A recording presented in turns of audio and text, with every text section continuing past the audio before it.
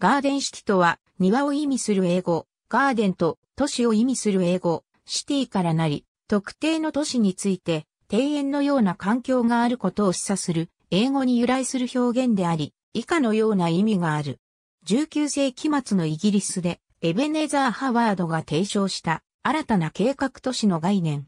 英語では、この意味では、英語、ガーデンシティと小文字で表記されることも多い。日本語では、田園都市が定訳となっているが、当初関連書物に、ガーデンシティと記されたほか、花園都市、花園市、花園都市といった名称が過去に使用され、現在でも庭園都市とも訳される。上記のハワードの系譜とは無関係であるが、同様の都市環境を持った庭園のような都市の意味で、大小様々な規模の都市に関して用いられる通称、形容表現。実際の都市、ないし、都市内の地区などの名称。英語圏、特にアメリカ合衆国を中心として世界各地にある。